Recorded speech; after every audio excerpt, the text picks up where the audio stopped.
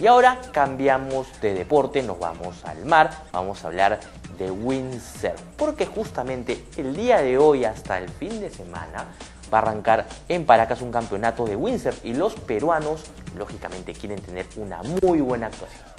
Además, Mariano, el mes pasado, Sebastián Aguirre, el nacional, junto al brasileño Caulicedi, lograron los títulos del campeonato sudamericano que se realizó en la playa Lobitos, al norte de nuestro país, con unas olas espectaculares, evento que fue sin duda todo un éxito y que además abre las posibilidades de que una de las fechas del Campeonato Mundial de Windsurf se haga justamente en nuestro país. Sería fantástico, ojalá se cumpla este, este deseo, ¿no? Así es, como siempre, nuestro mar, nuestro litoral pendiente de ofrecer grandes espectáculos deportivos. Veamos el informe que ha preparado Miguel Piscoya.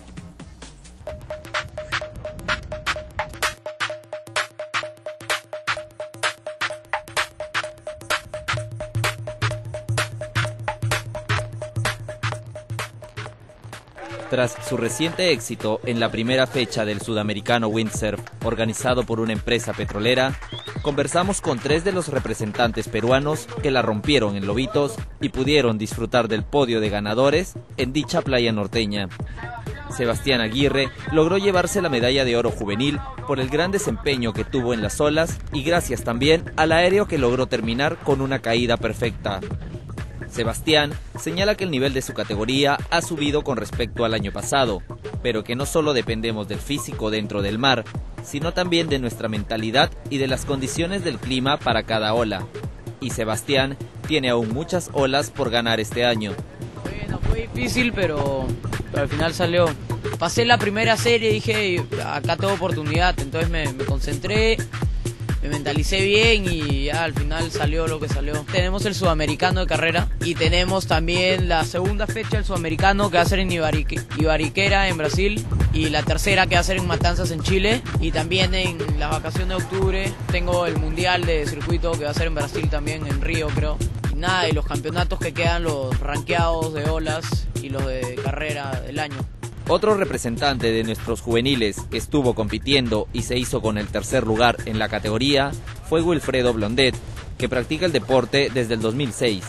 El futuro para Wilfredo es sin duda entrar a competir de manera profesional, a pesar de que llega a Paracas con poco entrenamiento, pero pensando en lograr un buen triunfo.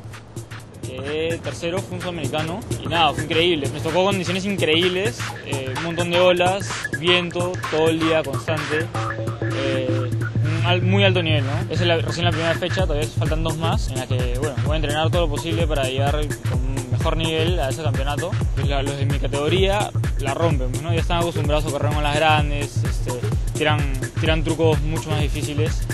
Pero en las olas chicas, cuando me toca acá en Perú, de hecho sí hay mucho más este, posibilidad de que les gane.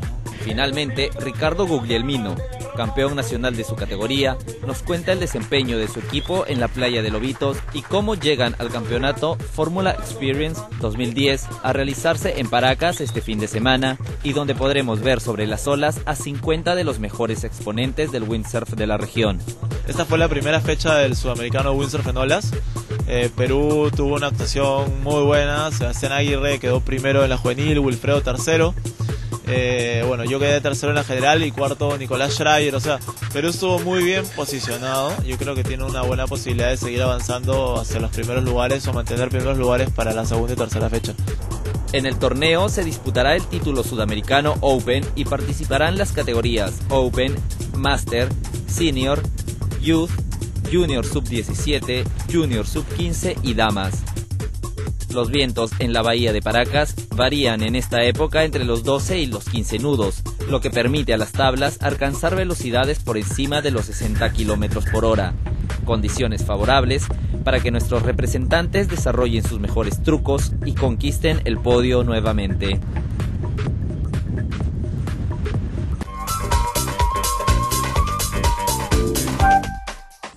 Gran nivel sin duda, el que muestran nuestros representantes en windsurf. Y ya saben, este fin de semana en Paracas, ahí estaremos variando.